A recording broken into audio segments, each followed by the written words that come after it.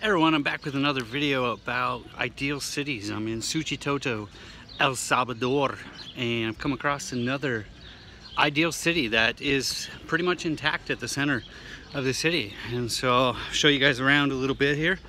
Same kind of deal as I saw in Asunción Mita. If you, I'm in the center, and there's a plaza here. if you can see, there's people just sitting around being, not doing anything. They just automatically come here because that's uh, it's a place.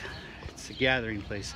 Um, but you can see the same type of uh, outdoor stuff. You can see the archways and they are around me here as well uh, for the shop owners around the plaza. So you have the plaza in the center of it and then you see you have shops you have a government building you have a church uh, commercial activities and in this particular and they're always covered.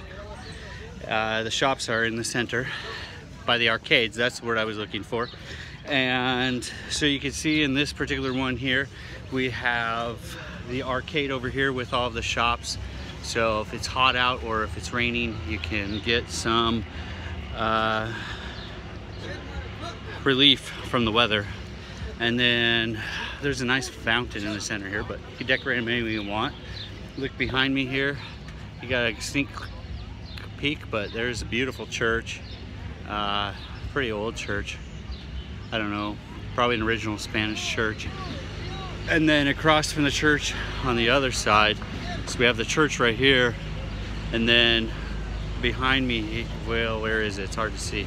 Uh, there's a palace. I'll try to come over here but the thing is, we can do this in the United States, and not only can we, we should do this with developments, with subdivisions. They don't have to be this big. It just talks about the elements that you need. And you have to have a center. You need some sort of public walkable space. You need shops. You need um, uh, some sort of uh, reasons to come here. Churches and government are one of the largest. Plus, if you're upset at your government, you can protest them because they're right there.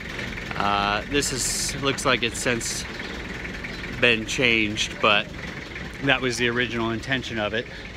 Um, but when we get into our subdivisions and stuff, and especially in new urbanism and people who think about stuff a little bit more than just the Gary Oaklands of the world, I'm calling you out, bud, because I can't, because I don't work for the government anymore. Making this uh, crazy, uh, God, la la land, cove design, just garbage. It's just shit. Um, it's just the worst thing that people have to offer. There's absolutely no sense of care. All it is is products, but I'm not to talk about that. I'm talking about the opportunities are just amazing. You put something like this in here, and even if you scale it down in a little new urbanist community, uh, you can uh, you can really help activate a space and really give really give a sense of place.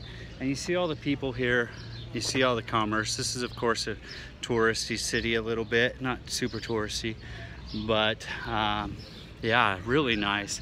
Look at this outdoor seating here. Man, this is this is fantastic. You'd have to get permits and stuff to do this in the US. Um, and we know we'd have street seats, but these guys call it open.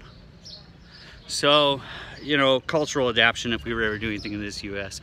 But the point is just to start thinking a little bit more about how we build our cities, how we build our design of our built environment, and how that reflects upon the way we live our lives. And we can really do something about it to get people out from behind the TV.